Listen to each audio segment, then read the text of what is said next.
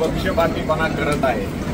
की महाराष्ट्रातल्या काही साखर कारखान्यांना त्यांना ज्यांना वाटते त्यांच्या फेवरचे जे असतील साखर कारखाने त्यांना एन सी डी सीचं कर्ज मिळवून देण्यासाठी त्यांनी प्रयत्न केलेला आहे. त्यासाठी महाराष्ट्र सरकारची जी थक असते त्या काही ठराविकच कारखान्यांना दिली जाते. आमच्या भागातील रावसाहेबदादा पवार घोडगंगा सहकारी साखर कारखाना या कार्यक्षेत्रात जवळपास पंचवीस लाख मेट्रिक टन ऊस उभा आहे. अशा कारखान्याला त्या ठिकाणी थक हमी न देण्याचं पाप हे सरकार करते. केवळ विरोधी पक्षात मी असल्यामुळं केवळ आदरणीय शरदचंद्र पवार साहेब यांना पाठिंबा दिल्यामुळं अशा पद्धतीचं शासन आमच्यासारख्या परिसरातील कारखान्यावरती अन्याय करीत आहे. त्यामुळं अशा पद्धतीचं कारण नसताना शासन लोकांमध्ये त्यांच्याबद्दलची जी एक वाईट भावना आहे.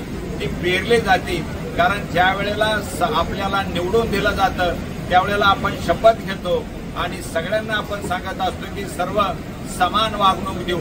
आणि अशा वेळेला ज्या वेळेला हा आमचा घोडगंगा सहकारी साखर कारखाना दोन हजार तेवीसला ज्या वेळेला आम्ही मागत होतो त्यावेळेला एन पी मध्ये नव्हता.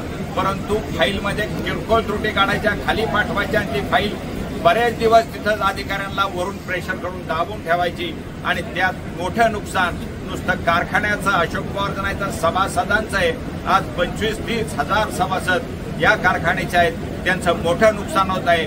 अशाच अनेक कारखान्यांना जे आज विरोधी पक्षामध्ये आम्ही बसतो त्यांच्यावरही मोठा अन्याय त्या ठिकाणी चालवले आहे. आणि काही कारखान्यांना मागं मदत करण्याचं गाजर एवढ्या करता दाखवलं की त्यानंतर ते नेते त्यांच्या पक्षात गेले.